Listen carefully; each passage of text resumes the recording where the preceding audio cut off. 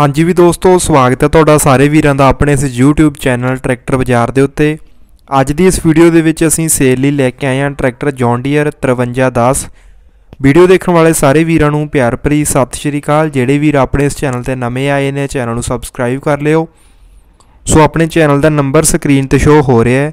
ਜੇ ਕਿਸੇ ਵੀਰ ਨੇ ਆਪਣੇ ਇਸ ਚੈਨਲ ਤੇ ਕਿਸੇ ਚੀਜ਼ ਦੀ ਐਡ ਕਰਵਾਉਣੀ ਹੋਵੇ ਤਾਂ ਉਸ ਦੀਆਂ 5-7 ਫੋਟੋਆਂ ਤੇ ਪੂਰੀ ਜਾਣਕਾਰੀ ਭੇਜ ਕੇ ਸਾਨੂੰ ਐਡ ਕਰਵਾ ਸਕਦੇ ਹੋ ਉਸ ਸੋ ਆਪਾਂ ਗੱਲ ਕਰਾਂਗੇ ਫੋਟੋਆਂ ਸ਼ੋ ਹੋ ਰਹੀਆਂ ਨੇ ਟਰੈਕਟਰ ਦੀਆਂ ਜੌਨ ਡੀਅਰ 5310 2016 ਮਾਡਲ ਟਰੈਕਟਰ ਹੈ ਜੀ ਇਹ। ਇਹ ਟਰੈਕਟਰ ਹਰਿਆਣਾ ਨੰਬਰ ਹੈ।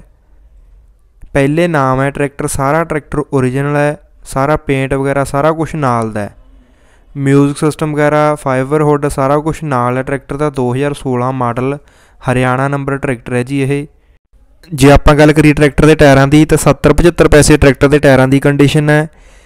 ਬਾਹ ਕੇ ਚੈੱਕ ਕਰਕੇ ਖਰੀਦ ਸਕਦੇ ਹੋ। ਸਾਰੇ ਪੇਪਰ ਵਗੈਰਾ ਟਰੈਕਟਰ ਦੇ ਕੰਪਲੀਟ ਨੇ। ਮਾਲਕ ਵੀਰ ਵੱਲੋਂ ਟਰੈਕਟਰ ਦੀ ਡਿਮਾਂਡ ਰੱਖੀ ਗਈ ਹੈ। 5.5 ਲੱਖ ਰੁਪਏ। ਬਾਕੀ ਰੇਟ ਮੌਕੇ ਤੇ ਘੱਟ ਹੋ ਜਾਊਗਾ। ਕੋਈ ਫਿਕਸ ਪ੍ਰਾਈਸ ਨਹੀਂ। ਕੈਂਥਲ ਏਰੀਆ ਦੇ ਵਿੱਚ ਇਹ ਖੜਾ ਸੇਲ ਲਈ ਮਾਲਕ ਵੀਰ ਦਾ ਫੋਨ ਨੰਬਰ ਵੀਡੀਓ ਦੇ ਡਿਸਕ੍ਰਿਪਸ਼ਨ ਦੇ ਵਿੱਚ ਹੈ। ਤੁਸੀਂ ਇਹਨਾਂ ਨਾਲ ਗੱਲਬਾਤ ਕਰਕੇ ਟਰੈਕਟਰ ਨੂੰ ਖਰੀਦ ਸਕਦੇ ਹੋ। ਵੀਡੀਓ ਚੰਗੀ ਲੱਗੀ ਸ਼ੇਅਰ ਕਰ ਦਿਓ। ਵੀਡੀਓ ਦੇਖਣ ਲਈ ਧੰਨਵਾਦ ਜੀ।